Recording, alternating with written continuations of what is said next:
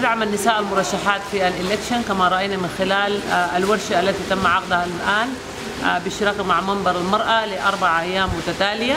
تهدف الورشة إلى تهيئة المناخ وتعريف المشاركات بأهم حقوقهم كمرشحة. في المنطقة متاعي بمجموعة مسلحة ويهددوا في الشخص هذا اللي يركب إنه هو ما يركبش الستاندات نتاعي الآن شاهدنا بعض السيدات يهاجموا بالسلاح على سبيل المثال توقف حملاتهم.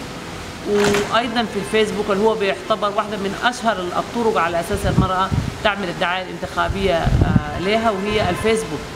بيواجهوا أيضا انتقادات. الآن المرأة السيدات الموجودات الآن يسموا من خلال انتماءاتهم أو هنالك يعني اتهام باطل أو يستخدم بعض الأيديولوجيات في اللحظة دي على أساس تقصي النساء من المشاركه وأنا بفتكر دي حاجة خطيرة جدا لأنه في النهاية العملية الديمقراطية أينما أنتمي أينما أكون لها الحق في المشاركة. المهم جدا إنه أنتم تقدموا يعني الصمت الصمت بحد ذاته مشكلة. فاللي في عنده أنتم ناخبين في الأول واسوء من هيك كمان أنتم كمان مرشحين. يعني أنتم عندكم حملين وفي الوقت نفسه عندكم حقين حق الناخب وحق المرشح. ف يعني كيف الواحد بيحل المشكلة هذه؟ يعني بعد بعد يعني بعد ما ترقد في الليل وتنوض الصبح تلقى وجهك مشوه ولا ولا ولا مزوقينه ولا مكسرينه ولا مش معقولة يعني.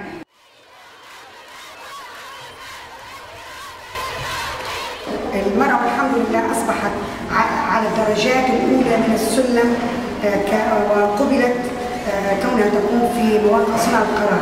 فهي الآن في البلديات في البرلمان السابق في صياغة الدستور والآن في مجلس النواب. وكلما المرأة أبدعت وأعطت واحترمت نفسها واحترمت الآخرون ستكون في مراتب أعلى بإذن الله وهذه النظرة لن تغيرها إلا المرأة باحترامها لنفسها وللجميع.